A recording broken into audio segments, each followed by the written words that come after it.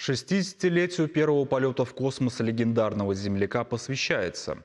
В воскресенье представители 25 российских регионов столицы Чуваши поспорят за награды всероссийского турнира по кеку Синкай памяти дважды Героя СССР летчика-космонавта Андриана Григорьевича Николаева.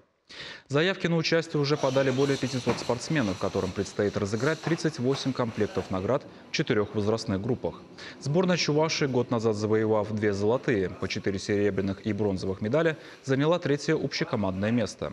Мы уступили две верхние ступени пьедестала почета коллегам из Кировской и Свердловской областей соответственно. Ошибки в подготовке были учтены и, как заверил руководитель профильной республиканской федерации, дружина хозяев готова дать бой. Этот год в Чувашии – год выдающихся земляков. И данный турнир посвящен памяти летчику-космонавту Андриану Григорьевичу Николаеву. И наши спортсмены должны доказать, что они сильнейшие на данном турнире.